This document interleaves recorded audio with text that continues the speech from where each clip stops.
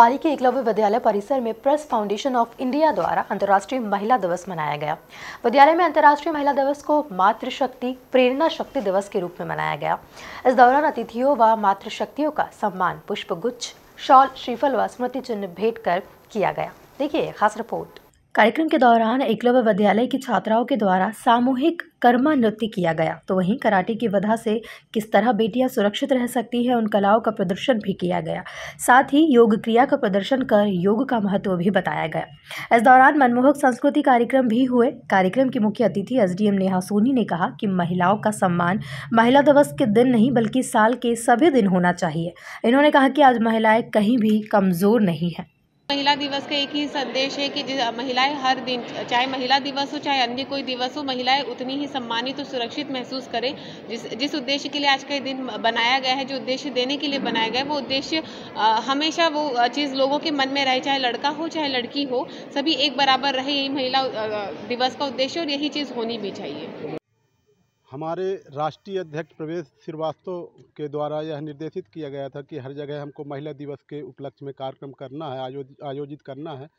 उस उपलक्ष्य में आज हम बीरसिंहपुर पाली में एकलव्य विद्यालय में महिला दिवस कार्यक्रम का आयोजन किया था, जिसमें सभी मातृशक्तियों का एवं स्कूल की छात्र छात्राओं का यहाँ पे सम्मान किया गया।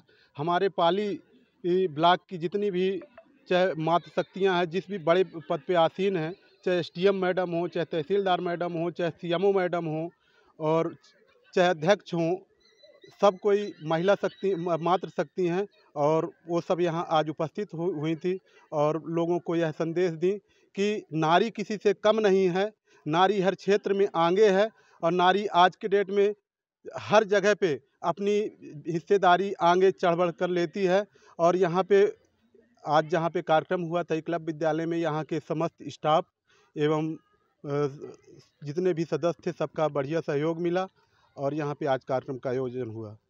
प्रेस फाउंडेशन ऑफ़ इंडिया के सौजन्य से आज एकलव्य आदर्श आवासीय विद्यालय पाली प्रांगण में अंतर्राष्ट्रीय महिला दिवस का आयोजन किया गया।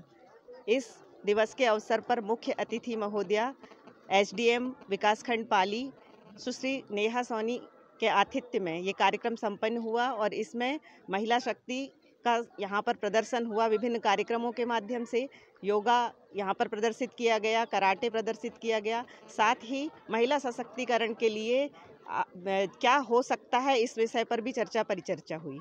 बड़े सौभाग्य का विषय है कि आज अंतर्राष्ट्रीय महिला दिवस के उपलक्ष्य में प्रेस फाउंडेशन ऑफ़ इंडिया के साथ एकलव्य विद्यालय परिवार ने यहाँ पर आज अंतर्राष्ट्रीय महिला दिवस को बहुत अच्छे तरीके से मनाया है, जिसमें हमारे विभाग की एसडीएम मैडम और मतलब विकास खंड में सभी जितनी भी महिला सशक्तिकरण की नारियाँ हैं, जो विभिन्न पदों पर आसीन हैं, उन्हें यहाँ पर बिठा करके उनका सम्मान किया गया और यथोचित कार्यक्रम द्वारा उनको उचित सम्मान प्रदान किया गया है। कार्यक्रम में प्रमुख रूप से तहसीलदार कोमल रेकवार महिला बाल विकास अधिकारी मोनिका सिन्हा एकलव्य आदर्श आवासीय विद्यालय प्रभारी प्राचार्य सतीश कुमार गुप्ता उषा राजपूत उमेश जायसवाल लोकेश कुमार मंगल प्रसाद एवं अन्य समस्त स्टाफ मौजूद रहा।